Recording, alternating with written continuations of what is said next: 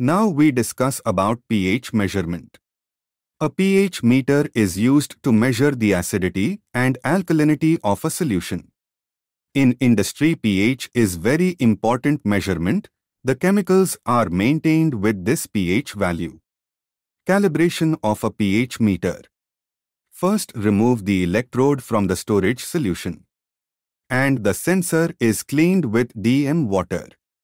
And calibrating the pH meter takes three standard buffer solutions of pH 7, 4 and 9.2 for calibration. The first buffer used for calibration is always the neutral buffer with a pH of 7. The second should always be near the expected sample pH either 4 or 9.20. Bases should be measured with buffers with a pH of 9.20, while acidic samples should be measured with a pH of 4. Place the electrodes in the buffer solution with a pH of 7 and allow the pH reading to stabilize at 7. Next, the sensor cleaned with DM water.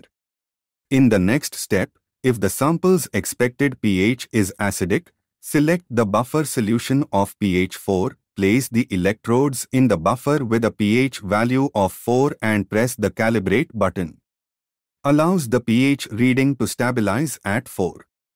And the sensor cleaned with DM water. And immersed into the storage solution.